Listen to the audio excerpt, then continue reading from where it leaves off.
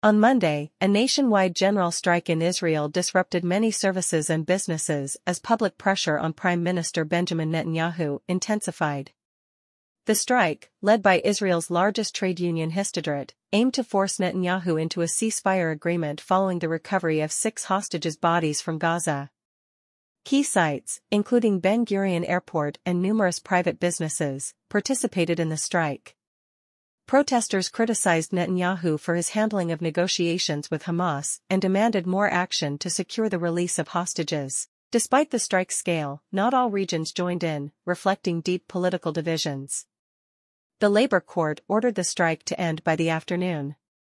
Netanyahu has maintained a hardline stance, insisting on military control over certain areas, which has complicated ceasefire talks. The conflict has resulted in significant casualties, with over 40,000 people killed in Gaza since the October 7 Hamas attack.